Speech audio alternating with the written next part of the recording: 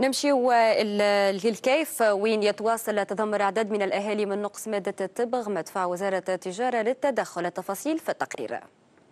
تعيش ولاية الكاف منذ أسابيع أزمة كبيرة في التزود بمادة التبغ. نتيجة ضعف حصة الجهة من هالمادة. وتفشي ظاهرة المضاربة وغياب المراقبة الصارمة على مسالك التوزيع. الأمر اللي سبب تسجيل نقص فادح في عدد من العلامات التجارية الأكثر استهلاكا. علاوة على ارتفاع أسعارها بشكل لافت. دخان في الكاف يمثل أزمة كبيرة أزمة آه، ألقت بظلالها على اقتصاديات الجهة بصفة عامة خاصة أنه آه، المدخنين كثروا برشا خاصة في صفوف الشباب الدخان ولا مرغوب فيه ولا حتى فقدانه ولا حافز كبير لعباد آخرين باش يتكيفوا اللي كان يتكيف في باكو ولا يتكيف في أكثر من من باكو. بالنسبة لأزمة الدخان في الكيف عندها مدة وما فماش خلاص وتو نتكيف في الدخان الجزيري وب 4500 و 5000 الدخان التونسي تو عنده ثلاثة جماعات كعبالة هي مولاها مدة ديما هكا ديما هكا.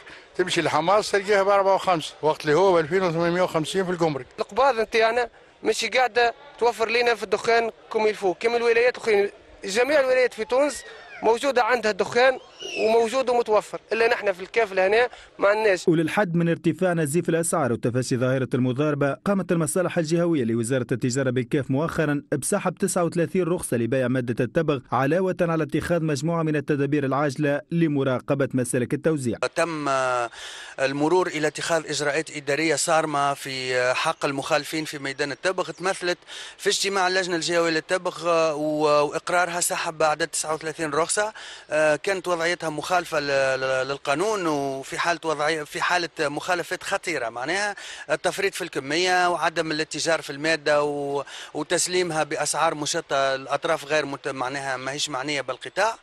هذه الإجراءات الإدارية ولكن تم آه برمجة تدخلات آه لكل الهيئات بما فيها المراقبة الاقتصادية وزملائنا في الأمن وبالتعاون حتى مع بعض زملائنا في المعتمديات والولاية آه باش يكون العمل شامل لكل الهيئات. آه، مراقبة باش تصير آه، على على مدى شهر وباش تكون مكثفه جدا على الطرقات في المحلات آه. ورغم هالمجهودات ما زالت الجهة تشهد نقص فاتح في مادة التبغ الأمر اللي انعش سوق التهريب ودفع بالمدخنين للإقبال على علب السجائر المهربة من القطر الجزائري واللي تشكل خطر كبير على صحتهم